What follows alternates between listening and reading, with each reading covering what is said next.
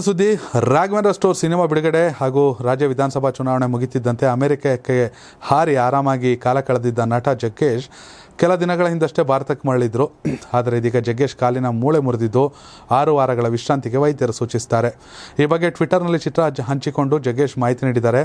ಕಾಲಿಗೆ ಪ್ಲಾಸ್ಟರ್ ಮಾದರಿ ಬ್ಯಾಂಡೇಜ್ ಹಾಕಲಾಗಿರೋ ಚಿತ್ರವನ್ನು ಟ್ವಿಟರ್ನಲ್ಲಿ ಜಗ್ಗೇಶ್ ಹಂಚಿಕೊಂಡಿದ್ದು, ಸಣ್ಣ ಅಚಾತುರ್ಯ ನಡಿಗೆಯಿಂದ ಪಾದದ ಮೂಳೆ ಮುರಿತ ಆರು ವಾರಗಳ ದಿಗ್ಬಂಧನ ನಡಿಗೆಗೆ ಇನ್ನು ಆರು ವಾರ ನಡೆಯೋಕ್ಕಾಗಲ್ಲ ಅಂತ ಹಾಕೊಂಡಿದ್ದಾರೆ.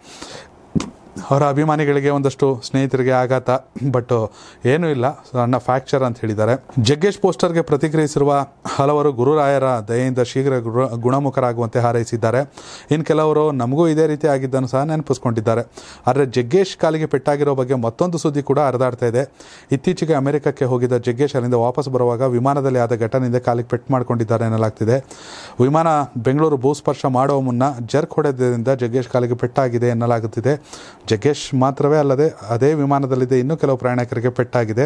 ಗಗನ ಸಖಿ ಒಬ್ಬರಿಗೂ ಪೆಟ್ಟಾಗಿದೆ ಅನ್ನಲಾಗ್ತಿದೆ, ಬಟ್ ಈ ಬಗ್ಗೆ ಸ್ಪಷ್ಟ ಮಾಹಿತಿ ಏನೇ ಆಗಿರಲಿ, ಬಟ್ ಅವ್ರಿಗೆ ಕಾಲ್ ಫ್ರಾಕ್ಚರ್ ಆಗಿರೋದಂತೂ ಸತ್ಯ. ಅವರೇ ಫೋಟೋ ಹಾಕೊಂಡಿದ್ದಾರೆ. ಆದಷ್ಟು ಬೇಗ ಪುಣ್ಯ ಅಷ್ಟಕ್ಕೆ ಮುಗೀತು. ಏನೂ ಆಗಿಲ್ಲ. ಅದು ವಿಮಾನ ಲ್ಯಾಂಡ್ ಆಗುವಾಗ ಜರ್ಕ್ ಆಗಿದ್ದರಿಂದ ಆದ ಘಟನೆಯೇ ಆಗಿದ್ರೆ ಅಷ್ಟಕ್ಕೆ ನಿಂತಿದೆ ಪುಣ್ಯ ಅಂತ ಹೇಳ್ಬೋದು.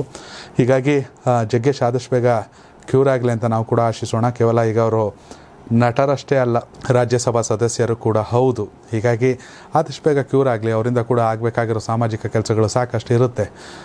ಇದು ವೀಕ್ಷಕರೇ, ಇವತ್ತಿನ prime time news prime time news ಹೇಗಿರಬೇಕು ಅಥವಾ ಏನೆಲ್ಲ ಬದಲಾವಣೆ ಆಗಬೇಕು ಅನ್ನೋ ನಿಮ್ಮ ಅಭಿಪ್ರಾಯನ ಕಾಮೆಂಟ್ ಮಾಡಿ. ಕರ್ನಾಟಕ ಟಿವಿಯ ಹೊಸ ವೀಕ್ಷಕರಾಗಿದ್ದರೆ ದಯವಿಟ್ಟು ಸಬ್ಸ್ಕ್ರೈಬ್ ಮಾಡೋದನ್ನ ಮರಿಬೇಡಿ. ಹಾಗೆ ನಂತರ ಬರೋ ಬೆಲ್ ಐಕಾನನ್ನು ಪ್ರೆಸ್ ಮಾಡಿ. ಆ ಮೂಲಕ ಎಲ್ಲ ಸುದ್ದಿಗಳ ಅಪ್ಡೇಟ್ಗಳನ್ನು ಮೊದಲಿಗರಾಗಿ ಪಡೆದುಕೊಳ್ಳಿ. ಧನ್ಯವಾದಗಳು ವೀಕ್ಷಕರೇ. ಕರ್ನಾಟಕ ಟಿವಿ ಕನ್ನಡಿಗರ ಧ್ವನಿ.